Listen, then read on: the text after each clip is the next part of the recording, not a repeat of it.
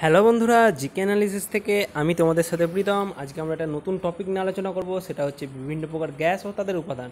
এটা সামনে যে কোনো চাকরির পরীক্ষা, যেমন RRB NTPC group D MTS প্রভৃতি পরীক্ষার জন্য অতি গুরুত্বপূর্ণ জিকে হতে পারে তোমাদের জন্য। ভিডিওটা পুরোটা দেখো, ভালো লাগলে লাইক কমেন্টস করো।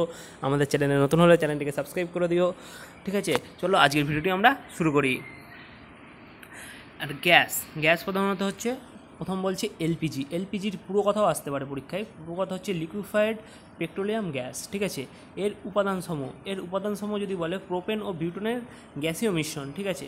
যদি যদিও এটি প্রধানত বিউটন থাকে। যদি তোমাদের অপশানে প্রোপেন থাকে বিউটন থাকে এবং প্রোপেন ও বিউটন থাকে, আর যদি প্রধানত বিউটন থাকে, তাহলে প্রধানত বিউটনই হবে, ঠিক আছে?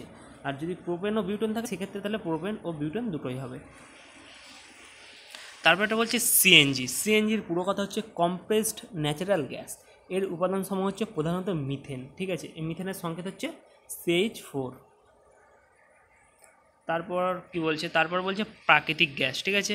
এই প্রাকৃতিক গ্যাসের উপাদান সমূহ হচ্ছে প্রধানত মিথেন প্রোপেন ইথেন অ্যাসিটিলিন বিউটনের ইত্যাদির গ্যাসীয় মিশ্রণ, এই প্রাকৃতিক গ্যাসের উপাদান।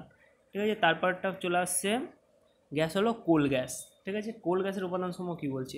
হাইড্রোজেন, যার সংকেত হচ্ছে এইচ টু মিথেন যার সংকেত হচ্ছে সিএইচ ফোর তারপর বলছি কার্বন মনোক্সাইড এটার সংকেত হচ্ছে সিও এদের গ্যাসীয় মিশ্রণকেই একত্রে কোল গ্যাস আমরা বলি।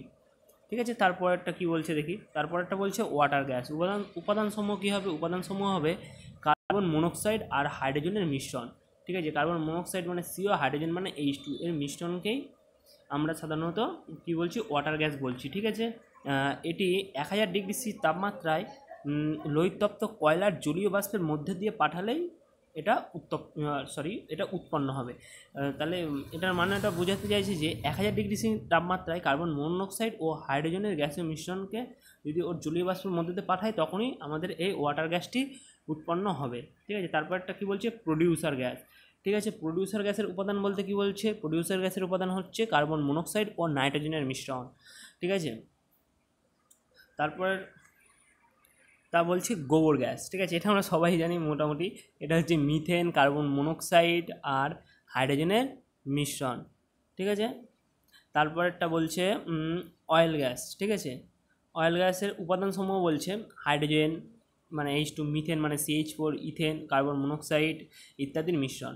ঠিক আছে? বন্ধুরা, ভিডিওটা ভালো লাগলে লাইক কমেন্টস করো এবং যদি আমাদের চ্যানেলে নতুন হও, তাহলে চ্যানেলটিকে সাবস্ক্রাইব করো আর পাশে থাকা বেল আইকনটি প্রেস করো যাতে নতুন নতুন এডুকেশনাল ভিডিওস তুমি দেখতে পারো। আজকের মতন এই পর্যন্তই, দেখা হচ্ছে আবার পরের ভিডিওতে